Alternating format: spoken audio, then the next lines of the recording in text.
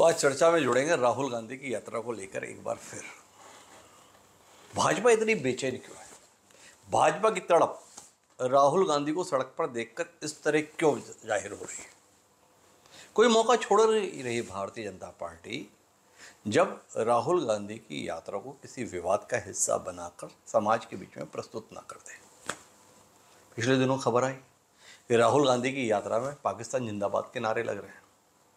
तय बात है कि जहाँ पर हज़ारों की भीड़ है, वहाँ पर कोई शरारती तत्व किसी किस्म की शरारत कर सकता है। नारे लगे, नहीं लगे, इसके संदर्भ में तो पुलिस के केस दर्ज हो गए। पर इतना तय है कि क्या कांग्रेस पार्टी ऐसी मूर्खता वाकई कर सकती है कि अपनी भारत जोड़ो यात्रा के अंदर पाकिस्तान जिंदाबाद के नारे लगवाए? लेकिन फिर भी, यह विवाद का विषय बनाकर क्या संदेश देना चाहते हैं?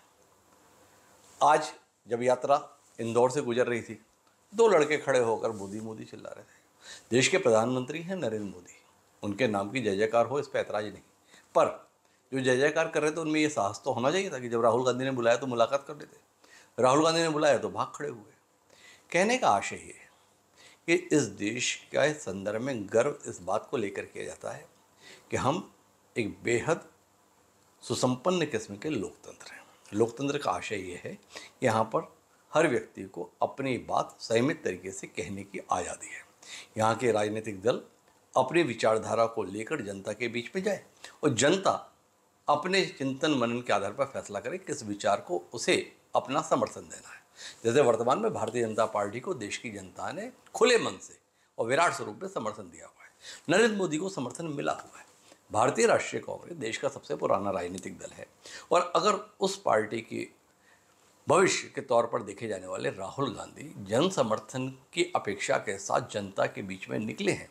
तो ये उनका अधिकार है और एक स्वस्थ लोकतांत्रिक परंपरा के अंतर्गत सत्तारूढ़ दल का ये दायित्व बनता है कि वह निर्बाध रूप से इस यात्रा को होने दे।